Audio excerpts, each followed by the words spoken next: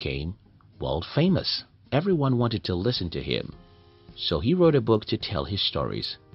The book sold in millions. He wrote another book and another book.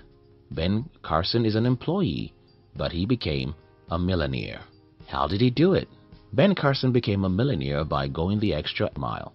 He became a millionaire by becoming far more valuable to the world than almost everyone in his field. He became valuable by reading the books nobody read, studying what no one did, and daring what nobody did. That's being valuable to the world. Though value means different things in different industries, even to a different company, in all, being valuable means that you know much more about your industry and profession than everyone else.